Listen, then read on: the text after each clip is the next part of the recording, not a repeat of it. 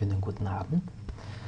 Wir haben da über Scope, Gültigkeitsbereich und Lebenszeit, also von, äh, ja, von Umgebungsvariablen, Variablen gesprochen, haben gesehen, gell, also die, der Gültigkeitsbereich gell, ist also im, äh, ja, in der Umgebung, in der wir sind, gell, also in der Shell oder im Skript. Gell, und wie lange lebt die Variable?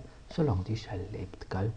Und äh, ja, das ist das eine. Gell? Und das andere ist, man kann an aufgerufenen Umgebungen, also an Kindprozesse, äh, eine Umgebung mitgeben. Dafür muss man diese Variablen dann aber exportieren. Gell? Okay, und dann haben wir gesagt, wollen wir was ausprobieren. Wir schreiben ein Skript, das uns die Suchpfade ergänzt. Gell? Also wenn wir die Suchpfade haben, dann äh, ja, sind die in der Umgebungsvariable Base drinnen. Gell? Also Verzeichnis für Verzeichnis durch ein Doppelpunkt getrennt. Gell? Und ja, da wollen wir jetzt so ein Skript schreiben. Gell? Also ich habe da jetzt eines mitgebracht, add base. Gell? Und ja, dieses add base, das fügt das erste übergebene Argument den Suchpfaden hinzu. Gell? Also, äh, ja, was mache ich da? Also ich frage ab, ob die Anzahl der übergebenen Argumente 1 ist. Ich sage, ein Verzeichnis wird es zu den Suchpfaden hinzugefügt, gell? und nicht mehr und nicht weniger. Und wenn das 1 ist, gell, dann, äh, dann mache ich das, sage ich, der neue Suchpfad ist der alte Suchpfad, Doppelpunkt, das übergebene Argument. Gell? Ja, dann sage ich noch Export gell, von, diesem, von dieser Variable und das war's dann. Gell? Und das wollen wir jetzt ausprobieren. So, add. Ah, zuerst gehen wir schauen, was drinnen steht. Gell? Also Echo, Dollar Base, gell, haben wir schon gemacht.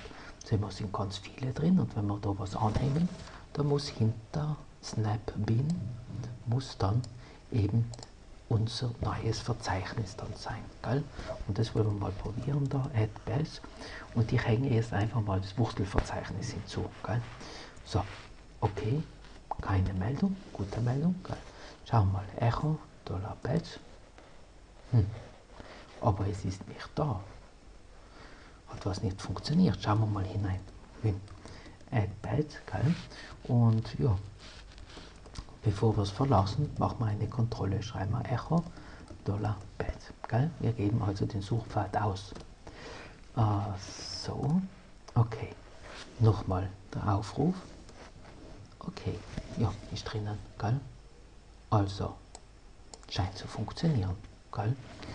Also wollen wir es jetzt nochmal ausgeben da. Ist nicht drinnen. Hm. Also, da tratzt uns doch jemand. Ist drinnen, aber ist doch nicht drinnen. Gell? Wo ist drin? Also drinnen ist es im Echo, das innerhalb des Skripts ist. Also im Skript ist das richtig. Aber nachher verlassen wir das Skript. Und wenn wir das Skript verlassen, dann ist nicht mehr drinnen. Und eigentlich ist klar, weil das Skript ja nicht äh, meine Umgebung ist von der Shell, aus der ich es aufrufe. Was muss ich jetzt machen? Ich muss das also jetzt in meiner Umgebung ausführen. Ich muss dafür sorgen, dass das Skript nicht in einer neuen Umgebung ausgeführt wird und dann kehren wir wieder zurück, sondern ich muss das in meiner Umgebung machen. Gell?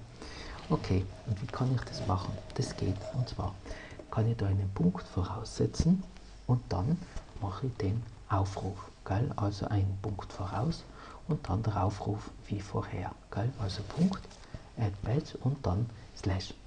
So. Also die Kontrolle innerhalb des Skripts funktioniert und jetzt machen wir das Echo außerhalb und jetzt funktioniert auch. Gell? Also wenn wir einen Punkt voraussetzen vor dem Aufruf gell, und dann kommt der Aufruf, dann wird es in meiner Umgebung ausgeführt gell? und dann wird ja, der Suchpfad richtig gesetzt und äh, er bleibt dann auch erhalten, weil er nicht in dieser Umgebung des Skripts dann läuft, sondern in meiner Umgebung. Gell?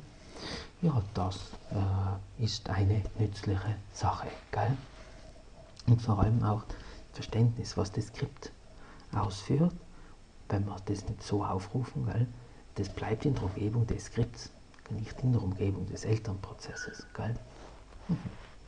Okay, ja, dann gehen wir ein bisschen weiter noch. Und zwar kommen wir zu den Kontrollstrukturen. Und das ist jetzt das, was wir als nächstes betrachten werden. Gell? Die Kontrollstrukturen, da gibt es Alternativen, gell? Einfach- oder Mehrfachalternativen. Gell? Also das gibt es ja auch in C gell? oder in Pascal gell? oder in Java. Gell? Also es gibt also ein if gell? oder ein Switch Case oder so etwas. Gell? Die heißen hier etwas anders. Gell? Äh, auch nicht alle, gell? aber halt ja. Und, äh, und es gibt Schleifen. Gell? Und dort wollen wir ja, so mal diese Standardschleifen machen. Es gibt da noch einiges dazu. Gell? Und was interessant ist, es gibt Break und Continue, genau wie in C oder in Java. Gell? Und es gibt kein Goto. Gell? Also die Autoren der Bash, gell, die haben sich gedacht, gell, also wir führen den äh, Systemprogrammierer nicht in Versuchung, gell? weil sonst kommt er noch in die Informatikerhölle. Gell? Also wenn er das Goto einsetzen würde. Gell? Also haben sie eine Sprache ohne Goto geschafft. Gell? Okay? Mhm. Ja, und äh, die Shell ist ja eine sehr einfache Umgebung. Sie hat jetzt ein paar Kontrollstrukturen. Gell? Was so fehlt, ist ein starkes Datenmodell. Gell? Also wir haben ein sehr schwaches Datenmodell. Wir haben gesagt, wir interpretieren die meisten Sachen mit Zeichenketten. Gell? Und äh, ja, jetzt fehlt uns etwas. Gell? Wir haben in Java oder in äh, Pascal oder in C++ oder, oder in einer jüngeren C-Version so etwas, das man Boolean nennt. Gell? Und Booleans, das sind dann auch die Grundlage der Entscheidungen bei Kontrollstrukturen, gell? wenn man so Bedingungen baut, also Ausdrücke mit einer boolschen Antwort. Gell? Und da haben schon die Autoren von C gesagt, naja, das Boolean, das gibt es überhaupt nicht, gell? weil wir haben im Prozessor keine Booleans, wir haben im Prozessor nur ja, 0 oder 1 vielleicht, gell? Das implementieren wir dann noch in Hardware, vielleicht in einer Spannung. Gell? Und äh, ja, in der Bash haben sie dann gesagt, ja, aber das haben wir nicht so, weil wir haben nur Zeichenketten. Gell? Boah, ganz andere Gedanken. Und äh, ja, dann haben sie gesagt, naja, nur Zeichenketten, Zeichenketten und Ausdrücke und Zeichenketten und Bedingungen, das geht nicht gut. Nein. Und dann haben sie was anderes gemacht. Also, und zwar, sie haben gesagt, ähm, die Shell ist ja etwas, wo man Aufrufe macht. Und wir haben ganz viele Aufrufe zur Verfügung. Und wir haben schon gesagt, gell, also das mit diesen Exit-Codes, der Dollar Fragezeichen abfragen, das ist nützlich. Weil es gibt ganz viele Programme, die wir verwenden können, um solche Exit-Codes zu definieren. Und das äh, benutzt man dann in den Kontrollstrukturen. Die Kontrollstrukturen benutzen Exit-Codes von Programmen, äh, um eine Bedingung zu erzeugen. Gell? Also es gibt keine äh, Bedingungen wie in C, Java und so, sondern es gibt Aufrufe. Und die Aufrufe haben Exit-Codes. Und diese Exit-Codes, die kann man dann in den Kontrollstrukturen verwenden. Gell? Okay, also die Bedingungen, gell, die sind anders als das, was wir bis jetzt gewohnt sind. Wir haben hier Schleifen, wir haben Alternativen und so weiter. Gell? Aber wir haben Aufrufe, Programmaufrufe und das sind unsere Bedingungen. Und der Exit Code, gell, der äh, stellt dann die Bedingung dar. Gell? Okay? Das ist der Exit Code eines Aufrufes, der stellt die Bedingung dar. Gell? Und ja, und da gibt es ein ganz besonderes Programm, das heißt Test. Gell? Wenn wir da mal schauen, da, man, Test. Gell? Oh. Und mit Test kann man Dinge überprüfen. Gell? Man kann also ähm, Bullshit Ausdrücke erzeugen, gell? so ähnlich wie wir sie schon haben. Gell? Die sind noch ein bisschen ungewohnt. Gell? Also da kann man so or, or end, gell? und man kann also Negation machen, gell? Not, gell? Ähm, oder man kann auch auf Zeichenketten was überprüfen, gell? oder man kann Zahlen irgendwo vergleichen, relational vergleichen, gell? ist gleich, ist kleiner, ist größer, solche Sachen. Gell? Und dann gibt es etwas, das erfreut den Systemprogrammierer. Es gibt Abfragen auf Dateien. Man kann fragen, gell, ob zwei Dateien die gleiche Einheit haben. Und wenn zwei Dateien die gleiche Einheit haben, dann heißt es, dass sie sind gegenseitig Hardlinks. Der eine ist Hardlink vom anderen oder umgekehrt, weil wir können sie ja so nicht unterscheiden. Gell? Gell? Oder man kann etwas von Datum gell, äh, da abfragen. Gell? Man kann fragen, ob eine Datei in newer than die andere ist. Gell? Okay, oder ist die eine older than die andere, ist die eine älter, gell? Also kann man schauen, wer da jünger und älter ist, gell? Mhm. Gell? Ganz ungestraft, du im Leben nicht immer ab so fragen, gell? Okay, so. Und man kann den Typ von Dateien abfragen. Man kann fragen, was bist denn du für einer? Bist du ein Block-Device, gell? Oder bist du ein Character-Device, gell?